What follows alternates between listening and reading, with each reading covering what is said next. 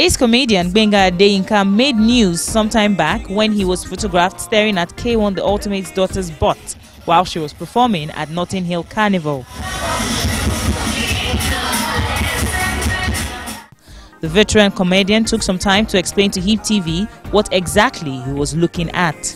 I was wondering, what are these girls of nowadays wearing? God help us.